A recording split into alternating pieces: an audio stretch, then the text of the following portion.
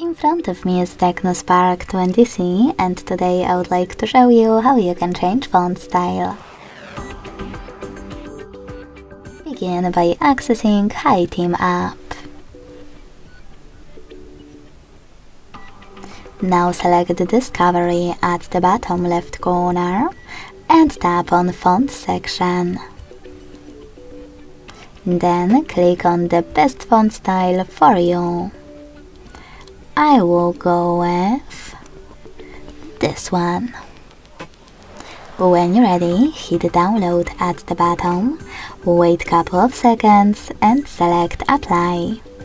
Then confirm your choice in the pop-up. So when I go back, as you can see, style of my text has changed. If you want to go back to your default one, access the same app. But this time click on Wallpaper or Themes at the bottom and tap on those three lines at the top left corner. Now hit My Fonts, tap on Default Font and choose Apply. Then confirm your choice in the same pop-up as before. Thanks so much for watching. If you enjoyed this video, don't forget to leave a like, comment and subscribe. Bye.